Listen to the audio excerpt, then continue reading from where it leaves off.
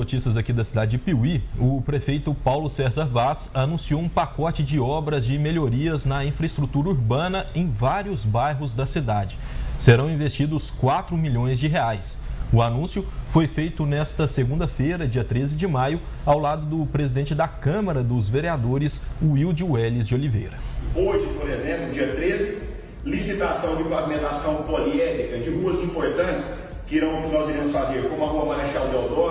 que é a descida da estrada do Jacu, indo para a subestação da CEMIG, a pavimentação que irá acontecer da subida da estrada da Cruz do Monte, travessa da Rua Amazonas, chegando ali na ponte Alderi. É, amanhã nós temos uma licitação importante de pavimentação, de recapeamento asfalto de parte da Rua Almada, parte da Rua Berlândia, um local muito aguardado por toda a nossa população. Na quarta-feira, licitação de extensão de rede, levar eletrificação e energia a pontos da nossa cidade que ainda não tem, como a subida da estrada do Cruz do Monte e uma rua muito importante, muito aguardada, que é a rua Regina Soares, desde o Trevo do Centenário até no Aras do Banana.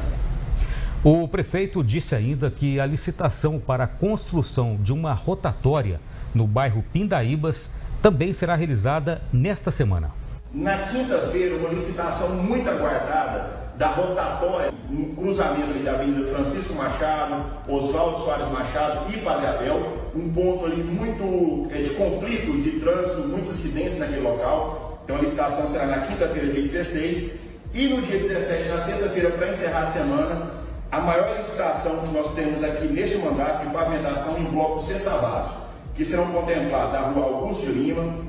ali no final da São Vicente, Rua João Caetano, que é a rua tem cruzamento da Padre chegando à Ponte do Curumim, um trechinho da Július Bill, a Rua Francisca Alves Mourão, que é a rua ali atrás do Petroquale, através da Rua 8, Rua Regina Soares, que é a rua que vai ligar ali do Centenário até no Aras do Banana, Rua Luiz Ventura, que está lá no Capoeiras, e também a Rua Ana Goulart, é a Rua São Vicente, que está lá no Distrito de Peneiros. No total, só dessa licitação, de 1 milhão 826 mil. Todas essas licitações que eu falei dão um total de mais ou menos 4 milhões que a Prefeitura Municipal de Piuí irá investir e levar essas melhorias para os cidadãos aqui da nossa cidade.